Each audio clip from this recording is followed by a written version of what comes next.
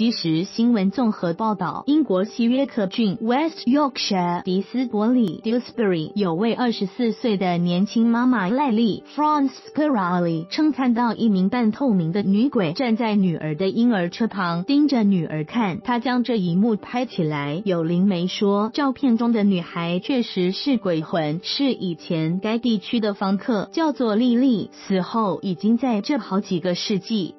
太阳报报道，赖丽透露，当天他带女儿去朋友家，女儿在朋友的房内睡觉，他当时正打开手机的相机，没想到从荧幕中看到有一名长头发、穿着白色衣服的女孩，很像是电影中的贞子或是大法师中的女孩。不过奇怪的是，当他把相机移开，用肉眼看时，就看不到这名女孩。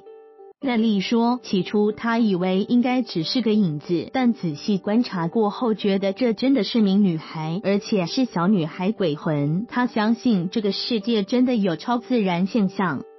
因赖丽在两周前流产，赖丽和朋友说之后，朋友认为这女孩有可能是她流掉的孩子，但从背面看，那鬼魂女孩令人毛骨悚然，感觉起来相当恐怖。他觉得不是她流掉的孩子。有灵媒说，照片中的女孩确实是鬼魂，是以前该地区的房客，已经在这里很久了。